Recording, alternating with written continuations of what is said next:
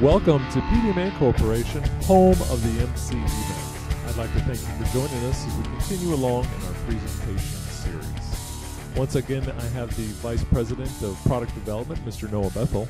Hello from sunny Tampa, Florida. And I am Todd Gunderson, the Vice President of Sales and Marketing. And Noah, the title speaks for itself multiple, pro- multiple problems in an induction motor. How one, one is bad, but uh, two is worse. Right. So we're going to be able to show the overall comprehensiveness of getting a lot of data and and breaking it down. So without further ado, let's get into the actual asset we're going to be testing here, and it's a scrubber recirc pump. Interesting. Not a very big motor either. No, it's only 20 horsepower, two poles, but scrubber. Uh, once you hear that, that's uh, once you hear that, that's definitely in the environmental area. Oh yeah, yeah. As far in terms of uh, scrubbing the pollutants out, that becomes a pretty important deal to, especially the environmentalists. Absolutely. Yeah, and so as you can see here on some of the uh, right up here, if you have one is the main, uh, but if you need additional flow, um, then uh, you're going to have to bring in number two as it's the backup. Unfortunately, you can see here from the timeline, we've had seven failures in 12 years for this asset which is just an unacceptable failure rate. Uh, any motor uh, design, you would think, you know, the general goal would be 15 to 20 years, and if you get 10, you feel good about it. Every couple years failing is, is something has to be done. And the cost isn't that it's not that extreme. Three thousand dollars. It's it's not that extreme. Yes, it is a lot of money. However, sixteen man hours for replacement, maybe some downtime Oh, the, yeah, the production losses. Like I said, if you're losing scrubber, you're not going to be able to pollute the environment, so you're going to have to shut the system down. Uh, loss of production could be big. Right. So there's a reason why you want to get this solved. So here's a picture of the motor itself, and there's some things that jump out at me. I don't know what you want to describe about it. This motor lives in a very industrious environment. right. It's seen its better days, even though it's probably a fairly new motor. It's definitely gone through uh, some difficult times, and we see a lot of water. There is a lot of water, yeah. That and water and electricity generally aren't uh, considered friends, and so that, that that is certainly something they need to look into. Yep, and we have quite a few case studies on why water and moisture don't mix with electrical, and we show the uh, the aftermath of that. So here's the picture of the motor. Now this is some test data that we collected on this, and there's two things that really jump out at us. Yeah, I mean, we always say you know red needs to be looked at, and there's plenty of red on this history chart. Uh, first of all, we got the corrected resistance to ground, which is our the fault zone we always refer to as insulation, um, and then we've got the resistive imbalance, which is the you know 92% is is just out out of the it's extreme. it's very very high. And and that's our power circuit fault zone that we focus on. Okay so we have two pathways to go down and we're going to go after the high resistance uh, connection first. And so here's uh, the data that presented itself at uh, 92%. So this is when we initially find the data. And then what they do, this is how you do troubleshooting. You uh, you divide and conquer, right? Absolutely. And you can see from the test location, we're going from the T leads, which is at the starter, and then we're isolating the motor and testing it by itself. And and you can see that the numbers change dramatically uh, to the better. Well, it cleared it, right? So we test tested the motor, it's fine. So we know the motor's good.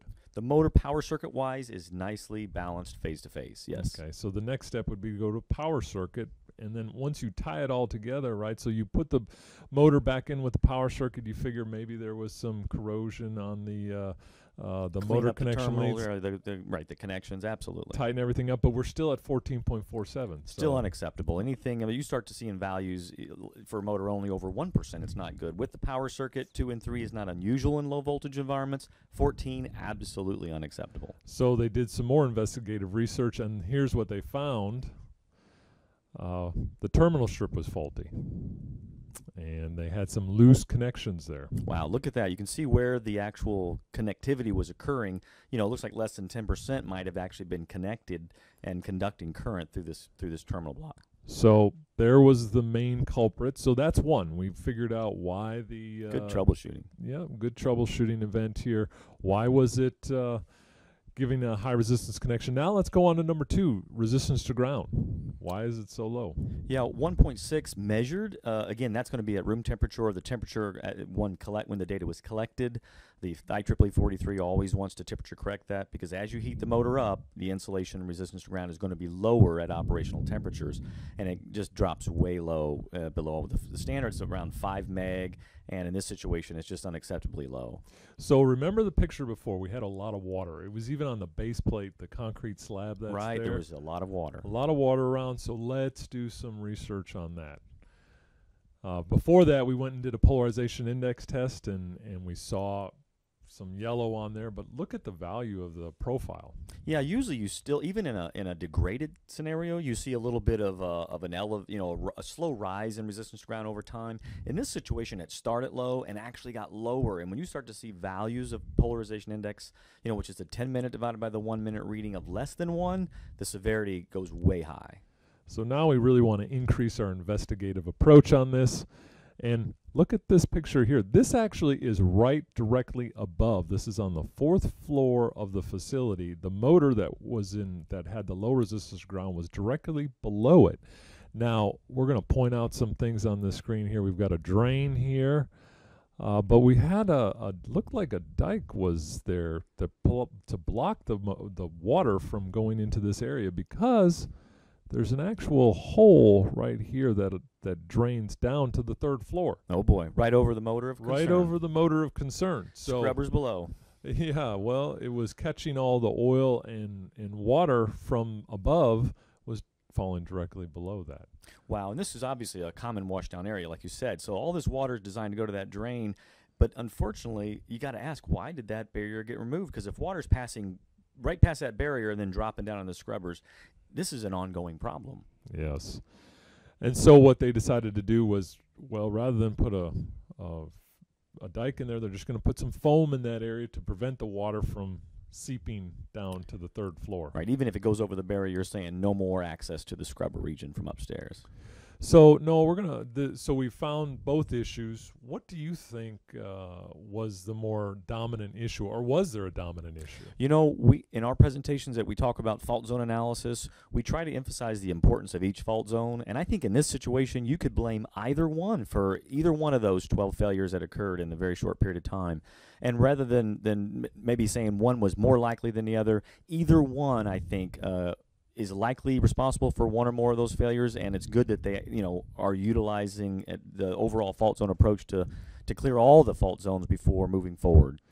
So in this case, it's always good to have a comprehensive tool with you that can test the motor when it's running or whether it's shut down, and give you valuable information. Absolutely. You mentioned, you know, running tests, you know, that power circuit anomaly. If we had a, uh, an associated current imbalance measurement or a current reading, we would know exactly the, the severity level of a power circuit anomaly and its effect on the operation of the motor with an online test from our EMAX technology. All right. Well, thank you for that, and we're at the end of this presentation, and we thank you for your attendance and, and listening in for us. And as always, if you have any comments or you have a, a case study that you'd like to share with the group, we'd be more than happy to take a look at it. Until then, you stay safe out there, and thank you very much.